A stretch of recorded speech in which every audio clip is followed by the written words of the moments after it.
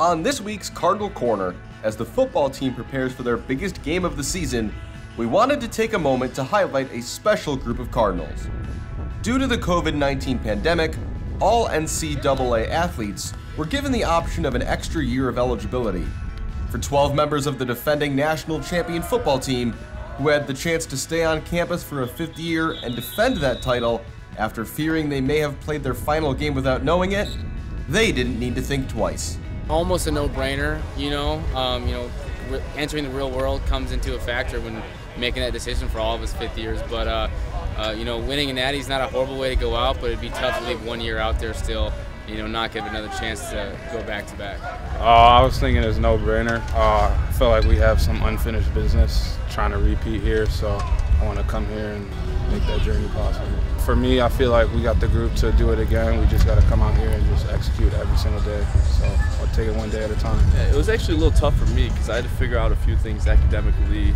Uh, I have to do five years anyway, so it was kind of no-brainer in that sense. But just figuring out my classes, and stuff like that, that was tough. But the football side of it, it was a no-brainer. I want to be with my teammates, be with my guys. I don't want to let them down. While the choice to return to campus and to the team may have been easy, it brought with it significant responsibilities for these super seniors as leaders of the team, with it largely falling to them to ensure the entire squad stayed on track during the almost two-year layoff.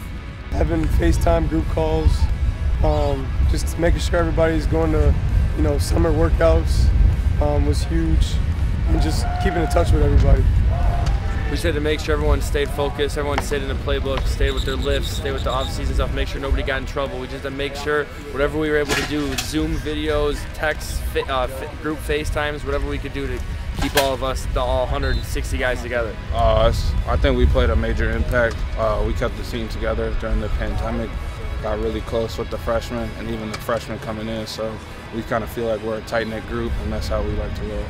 While the list of accomplishments for this group of seniors during their time at North Central is long, and of course topped by 2019's national championship, there is still one box they haven't checked beating arch rival Wheaton in the battle for the Little Brass Bell.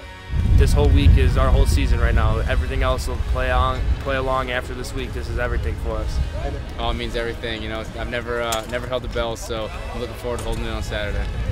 Man, this is all we've been waiting for for a long time. Uh, like they were saying, we've never won it before. Uh, we want it so bad, so we're gonna give it all we got. We're gonna leave it all on the field.